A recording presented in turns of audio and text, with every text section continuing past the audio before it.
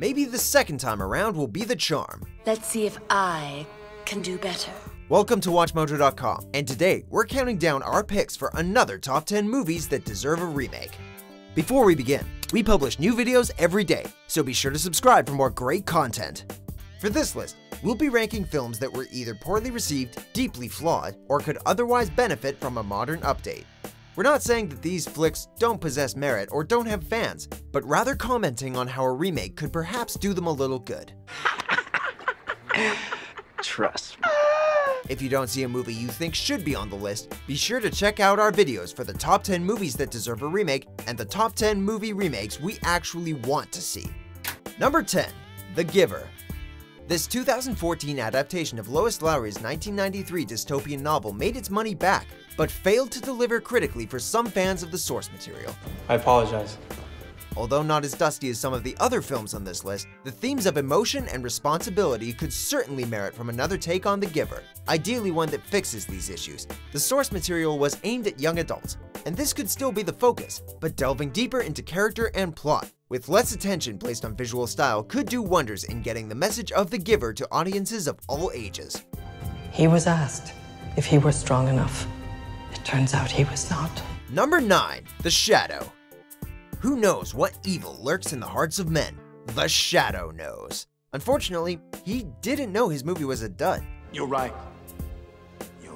You're right. Directed by Russell Mulcahy, who is known for the slick, music video style of films such as Highlander, the results as seen in the movie are actually quite fun.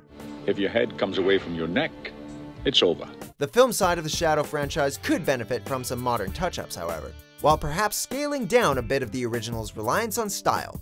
But you said he was only a rumor. I'm sick of this shadow business. Keeping the noir mood and tone would be good for the movie, but grounding the shadow somewhat in the reality of, let's say, Batman, could actually do wonders for the franchise to live again on the big screen.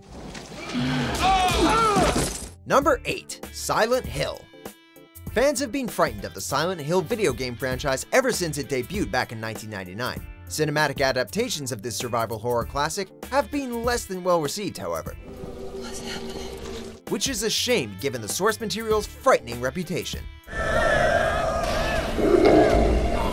How could this be remedied? Well, maybe looking back at some classic horror ideas could work. Using practical effects, tense storytelling, and moody camera work could give the world of Silent Hill the audience and critical reception it deserves. The video games did a superb job of immersing the player in this atmospheric, temperamental universe, and it would be great if a new Silent Hill movie could do the same. Look at me. I'm burning. Number 7. The Lone Ranger Disney had high hopes for The Lone Ranger, and spent over $150 million in marketing to push a film that already ran them a bill of at least 225 million. We jump? What about the passengers? They jump. And then the film only grossed a total of 260 million worldwide. Is it possible for the Lone Ranger to ride again? But he's the Lone Ranger. Well, creating a better balance between the Ranger and his companion Tonto would be great for starters, as Johnny Depp's performance as the, quote, American Indian distracted from the comparatively dull Armie Hammer. My name come up? Casting aside, making The Lone Ranger a more direct story as opposed to a bloated blockbuster could also make great strides in ensuring the sun doesn't set on this iconic Western hero.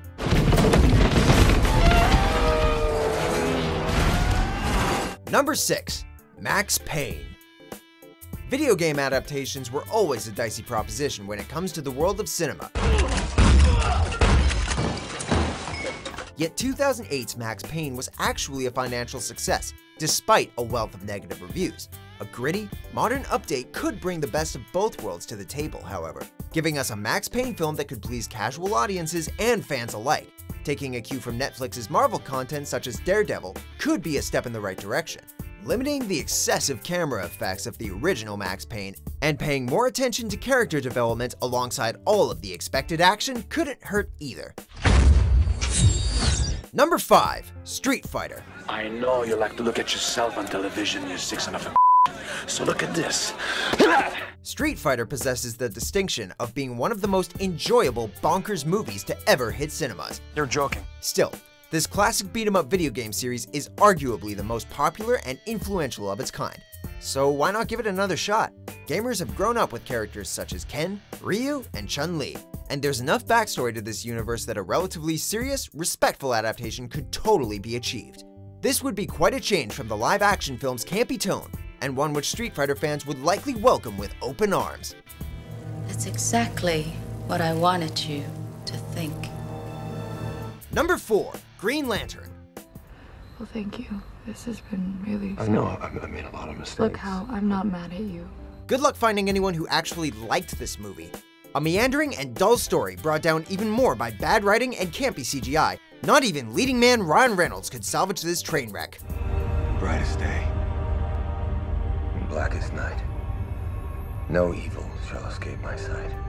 Guardians of the Galaxy successfully brought the Marvel Cinematic Universe to space, so now is a perfect time for DC's Galactic Cop to do the same for the Justice League. As long as they learn from their mistakes, keep the supersuit green, but not animated, and maybe, just maybe, we can all let Reynolds forget about this 2011 embarrassment.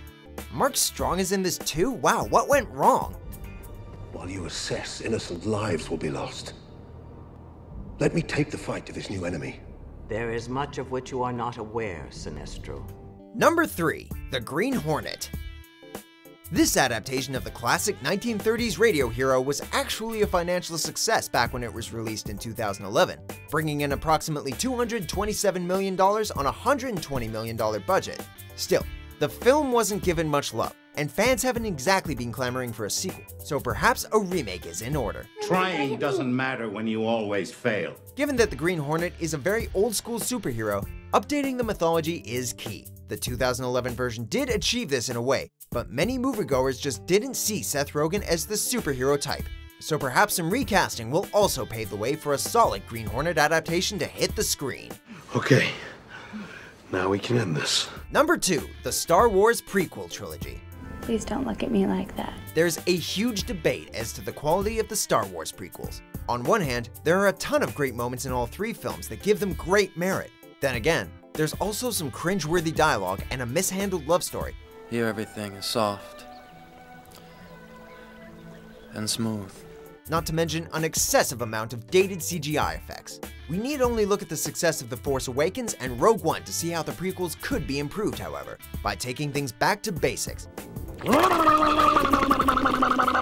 Tell a simple and direct story about Anakin Skywalker's fall to the dark side. Bring back the creature effects and realistic lightsaber duels, and you might have a recipe for remake success.